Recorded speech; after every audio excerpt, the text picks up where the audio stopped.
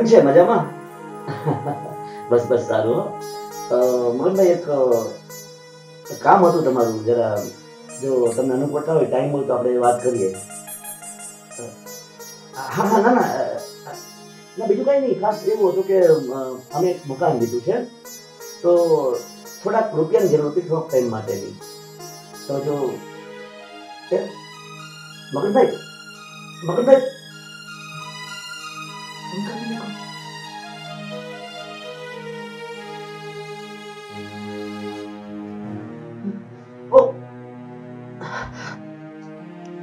થયું પપ્પા શું થયું? સાહેબ, કઈ નહીં સર જરાક છાતીમાં સળાકો નીકળી ગયો થોડાક વ્યવસ્થિત સુઈ જાઓ પપ્પા થોડું થોડું દુખે છે. પપ્પા એવું તો ડોક્ટરને ફોન કરો. ના ના બેટા એવી કઈ જરૂર નથી. બેટા તું મળી આવ્યો ને? હવે પપ્પા તમે ફોન કર્યો તો રમેશ કાકા પાસે તો જઈ આવ્યો હવે એને અત્યારે કહીએ ને કે મકાનનું વાસ્તુ છે એમાં હા તો એ કે હમણાં તો મારી પાસે પૈસાની કોઈ જાતની કઈ સગવડતા નથી. આપવાની ના પડી. અને તમને હવે વાત નહોતી કરી પણ આંટી પાસે પણ ગયો હતો. મેં કીધું કદાચ ત્યાંથી મેળ પડી જાય ને મેં કીધું. તો આપણે કહીએ ને પચાસ હજારની વાત કરી હતી. હા. તો એને પણ ના કહી કે મારે તો આપણા કહીએ ને કોઈ કમાવા વાળું કે એવું નથી. અને સેવિંગ કંઈ નથી તો હું પણ એ નહીં આપી શકું. અને મારે પણ પપ્પા એવું છે અત્યારે કે જેટલા પાસેથી થતો હતો ને એ બધા લોકો પાસેથી તો થોડા થોડા થોડા થોડા લઈ ચૂક્યો છું. હવે પપ્પા ટેન્શન એ થઈ છે. બીજું કોઈ તમારા ધ્યાનમાં કંઈ ખરા?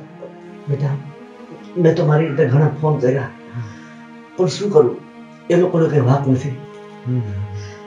જેટલા લોકો છે એ બધા આપણને મદદ કરે એવા જ છે પણ શું કરીએ? એની કંઈક ને કંઈક મજબૂરી છે. બેટા આમ જોઈને તો આપણાથી એક ભૂલ થઈ ગઈ છે.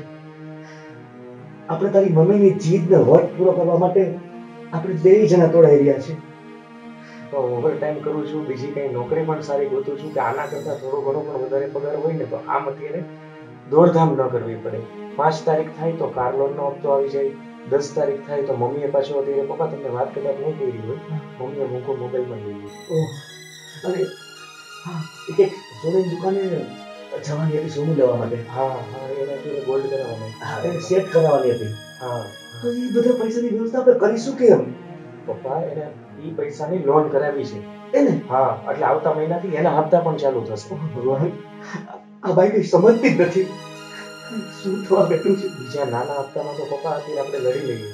હવે આ મકાનનો અત્યારે મોટામાં મોટો હપ્તો છે. કદાચ એને ચેન્જ કરવાની ઈચ્છા હોત મકાન. અત્યારે જે પચાસ સાઠ લાખનું લીધું ને એ જગ્યાએ થોડુંક ઓછું કર્યું હોત ને તો આટલા ખેંચતાણમાં ન આવે. પણ મકાન મકાન ઉપર પછી ફર્નિચર ફર્નિચર પછી કાર લોન આ છે તે છે. પેલું કહીએ ને, મારા સાસુને નીચું દેખાડવા માટે. મમ્મી એટલી બધી વસ્તુ અત્યારે લઈ લીધી છે ને, અને લઈ લીધી એની સામે પપ્પા આપણી પાસે સેવિંગ લીધું હોય ને, તો પણ નડે. પણ બધું માથે કરી કરીને, અત્યારે બેંકમાંથી તો લોન હું લઈ ચૂક્યો છું, હવે છેલ્લા બેથી ત્રણ મહિનામાં મેં ચાર પાંચ ફાઇનાન્સરો આવે ને, બરાબર? જે લોકો ખૂબ જ માથા ભારે હોય જે આપણે હપ્તો કે એ બધું લેવામાં એક બે દિવસમાં લોકો આમ તેમ થાય ને તો એ લોકોની લેંગ્વેજ એવી હોય. તો એ લોકો પાસેથી પણ હું લઈ છું. દીકરા એક તો બહુ વધારે પડતા મારધાર કરવા હોય છે ને વ્યાજનો દરેક કેટલો ઊંચો હોય છે એનો તો. સમજી શકું કે પણ મકાન માટે અત્યારે હપ્તા માટે મારે કંઈ કરવું તો પડે ને? ઘરે નોટિસ આવે ઘરમાંથી બહાર કાઢે એ સારું થોડું લાગે. આપણે બધા અત્યારે કહીએ પપ્પા તમને શું થાય છે? મને લાગે છે કે આપણે ખરેખર પપ્પા તમે ચિંતા ના કરો. બધું જે મકાન લેવાનું સારાવાના થઈ જશે. શું થયું તારા પપ્પાને? મમ્મી જો ને પપ્પાને અચાનક અત્યારે છાતીમાં દુખાવો ઉપડ્યો છે. તો આપણા ફેમિલી ડોક્ટરને ફોન કર એને ફોન કરીશ એટલે ઘરે આવી જશે. ભલે કોઈ પણ ચાર્જ લઈ લે. બોલાવી લે તું. ડોક્ટર બોલાવવાની જરૂર નથી.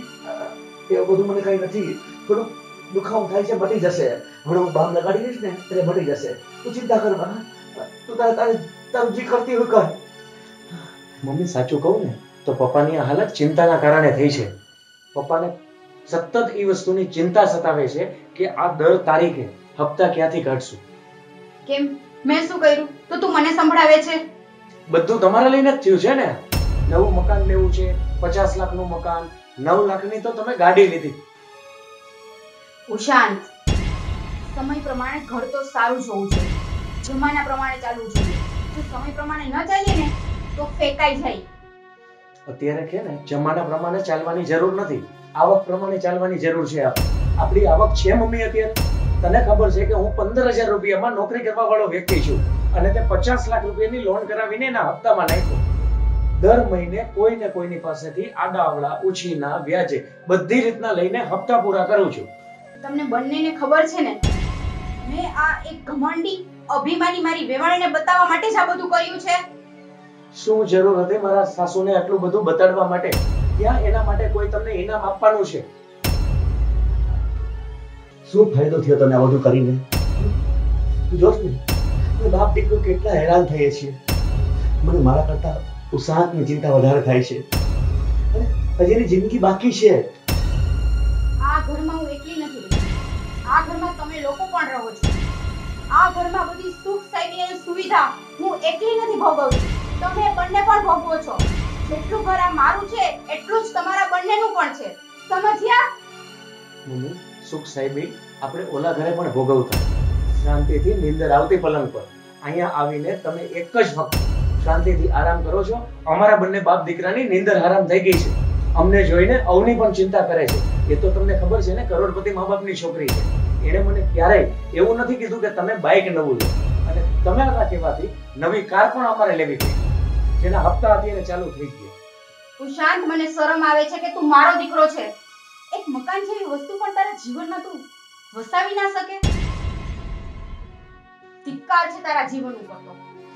મમ્મી એ મકાન ઘરનું જ હતું આપણું. નવું લેવાની કોઈ જાતની જરૂર નહોતી. આ પણ ઘરનું થઈ જશે. બસ તું થોડીક મહેનત કર તો.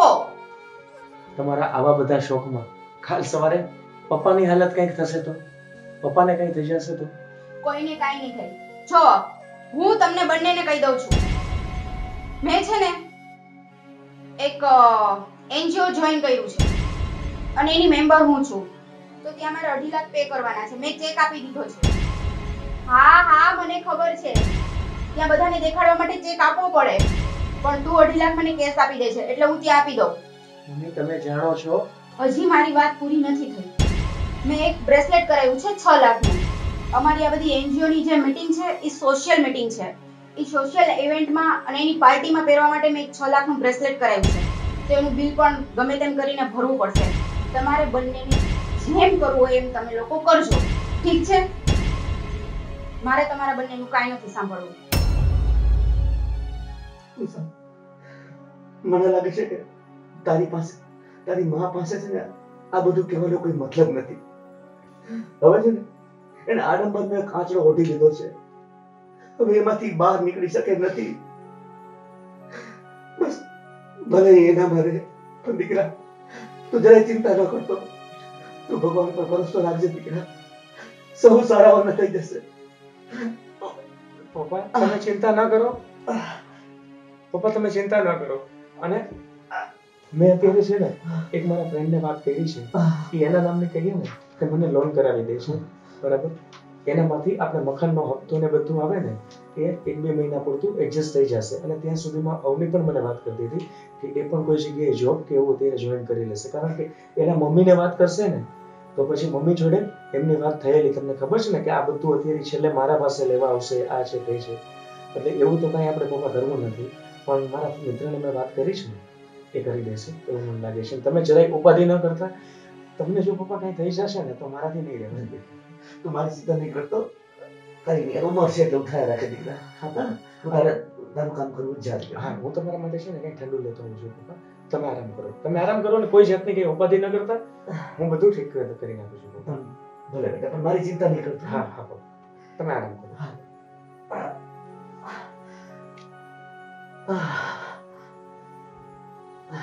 ચિંતા ના કરતા હો પપ્પા. હું. કઈ ઠંડુ કેવું લઈને આવું છું? બીજું કઈ ખાવું છે તમારે? ના ના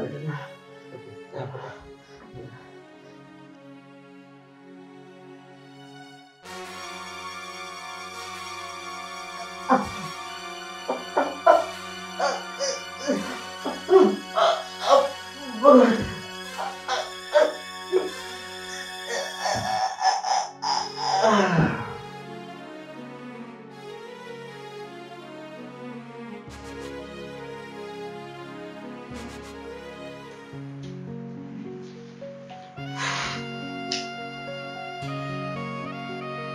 તમારે આલિશાન મકાન પણ થઈ ગયું? બંગલો અસર ગાડી, ત્રણ ત્રણ તો નોકર એક રસોઈ બનાવવા વાળો એક સ્વીટ બનાવવા વાળો ચાલો, હવે તો હું મારી વેમાણને ફોન કરું. હવે એને બતાવી દઉં કે એના ઠાઠ માઠનું પણ મારી પાસે કાંઈ ના આવે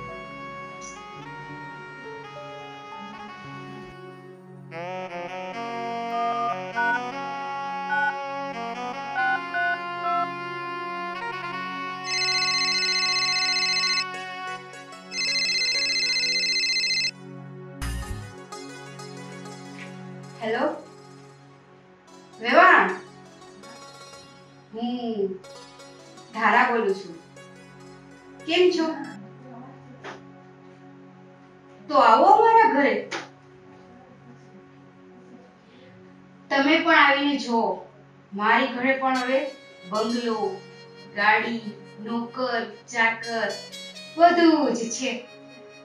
જેમ તમે ધૂમ સેવી ભોગવતા હતા ને? હા, બસ. એનાથી પણ ડબલ. હું ધૂમ સેવી ભોગું છું. કેમ? હા હા હા. તો આવો અને જોવો પપ્પા પપ્પા પપ્પા પપ્પા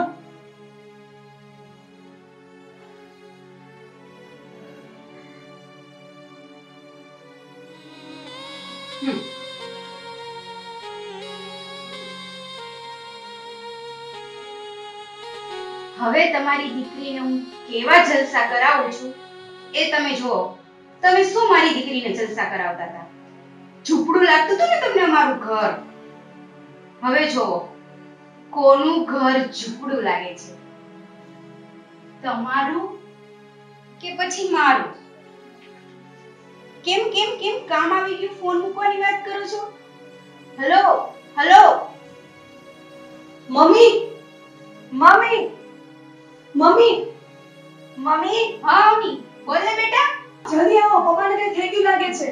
પપ્પાને કેમ થયું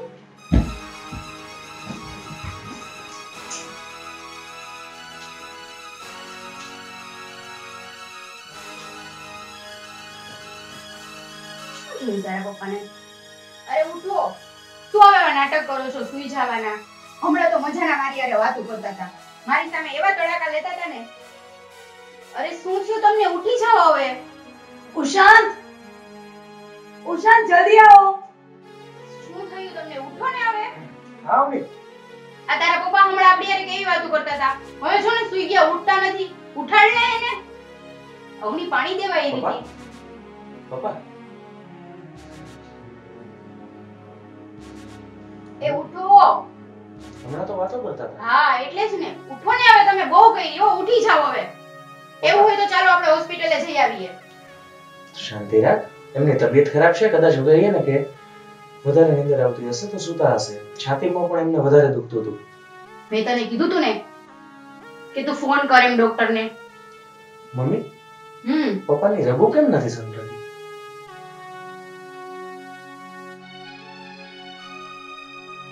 તું એવું બોલ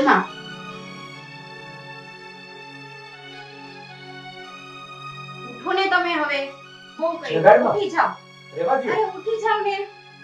રેવા દ્યો હવે મારો બાપ ક્યારેય નહીં જાગે.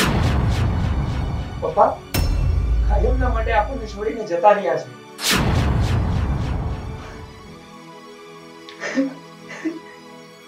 જોયું? આ તારા મેળા ટોળા સાંભળીને આ માણસ જીવી પણ ન શક્યો. એક પલ પછી કોને કેટલા દેવાના આ હિસાબના હિસાબના ટેન્શનમાં એમને છાતીમાં દુખાવો થયેલો. અને મેં પણ સમજવામાં ભૂલ કરેલી કે આ એટેક છે.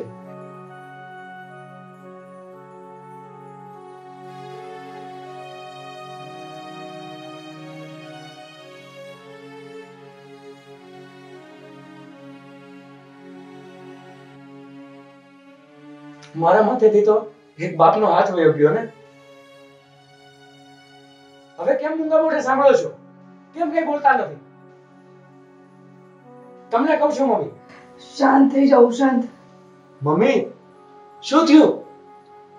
મમ્મી.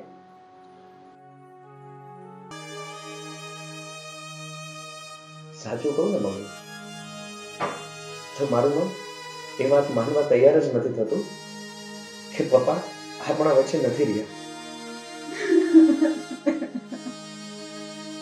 આ ચોવીસ કલાક થઈ ગયા. પપ્પાને ગઈ.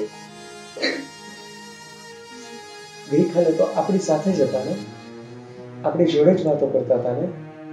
મને બી ખબર નહીં માનમાં કેમ તૈયાર નથી થતું કે પપ્પા હવે આપણી વચ્ચે નથી રહ્યા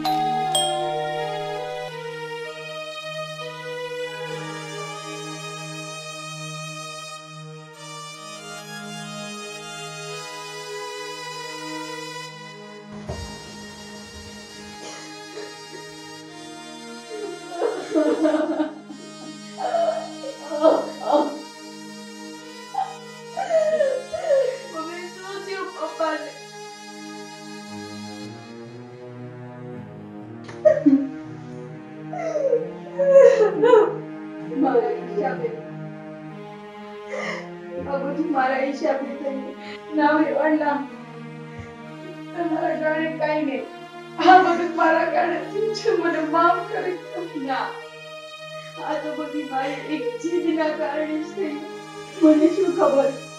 મારી જીદનું આ પરિણામ આવશે. તમારી એ જીત એ જીત પણ મારા કારણે હતી ને. જો એ દિવસે મેં તમને આડાવડા વેણ ન કીધા મારા રૂપિયાનો ઘમંડ તમને ન દેખાડ્યો તમે કદાચ આવડું મોટું ઘર લેવાની જીદ જ ના કરો. એક વાત તો મારાથી આ સમયે આવું બોલાય તો નહીં. માણસ પાસે ગમે તેટલા રૂપિયા. એનો ક્યારેય દેખાડો ન કરવો જોઈએ. આનું પરિણામ છે ને બહુ ગંભીર આવે છે. તારી વાત એકદમ સાચી છે બેટા. મારો જ વાત છે.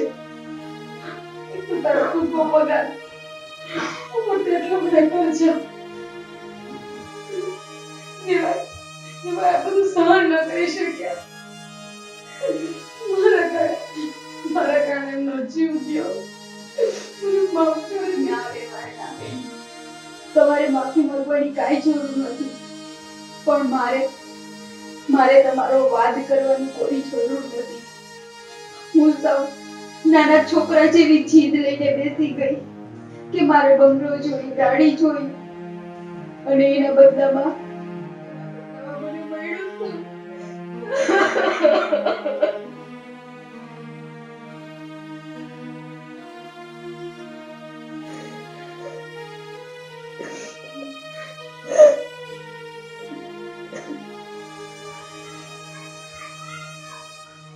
ગયેલા સમયને પાછળ તો નથી લાવી શકતા ને લોકો કહે છે મર્યા પછી એ વ્યક્તિની આત્મા ચૌદ દિવસ સુધી આપણી સાથે હોય છે. આપણને રડતા જોઈને પપ્પાને પણ દુઃખ થશે ને એ વાતનું? આપણું કામ છે એકાબીજાને હિંમત આપવાની.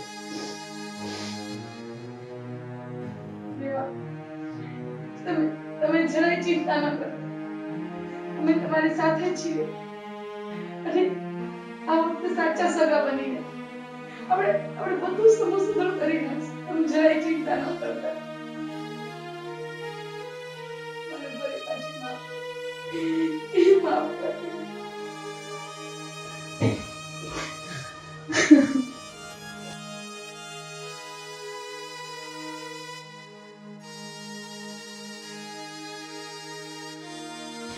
તમારે માફી માંગવાની કાંઈ જરૂર નથી.